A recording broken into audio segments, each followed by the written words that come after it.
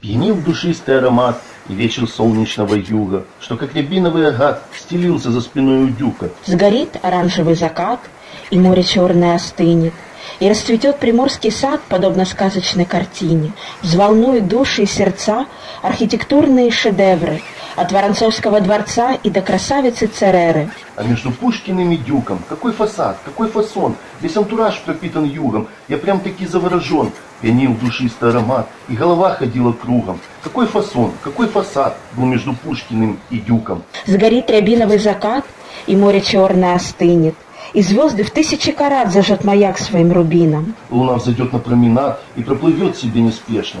В Одессе редко где спешат, а здесь и вовсе безмятежно. Здесь жизнь размеренно течет, но в то же время бьет фонтаном. И пусть все в мире подождет, когда я здесь среди платанов. А между Пушкиным и Дюком какой народ, какой фасон, какие платьица и брюки, какая речь, какой жаргон, пенил душистый аромат, и голова ходила кругом.